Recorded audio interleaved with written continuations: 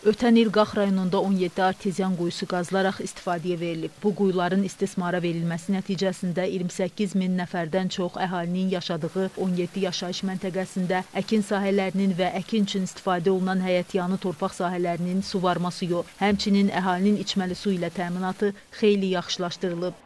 Həmən su itkisinin qarşısını almaq üçün artsan quyuların yaxında kənlər quraşdırılmış. Həmən suyu kənlərə yığmaqla kəndin yaşayış məsuliyyətinə 16 ədəd ki, bulaq çəkilmişdir. Bununla da cəmaatın içməli suyu olan tələbatı ödənilir. İçməli su çatışmazlığı olan kəndlərdə kənd sakinləri artıq susuzluqdan əziyyət çəkmirlər. Arteziyan quyularından çıxan su yaxınlıqdakı su təmizləyici qurğulara verilərək orada filtrlər vasitəsilə təmizlənir və kənd ərazisindəki bulaqlar vasitəsilə əhaliyə çatdırılır. 4 saat səhər vururam, 4 saat axşam. Yəni filtrdən keçirib kəndə vururuq. Gözəl də suyu var artizanın. Arteziyan quyuları vasitəsilə sakinlər içməli su ilə yanaşı həyətyanı torpaq sahələrini də rahatlıqla suvara bilirlər. Suvarmaya da istifadə edirik.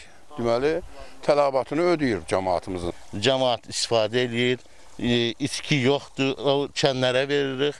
Su problemi yaşanmır. Yaxşıdır, cəmaat çox razıdır. Son 25 ildə belə artisanlar olmamışdı. Qeyd edək ki, Prezidentin imzaladığı sərəncamların icrası olaraq 2013-2020-ci illər ərzində Qax rayonunda 91 subarteziyan və arteziyan quyusu qazılıb, əhalinin istifadəsinə verilib. Pərvanə Mustafayeva, Mübariz Məmmədov, Qax.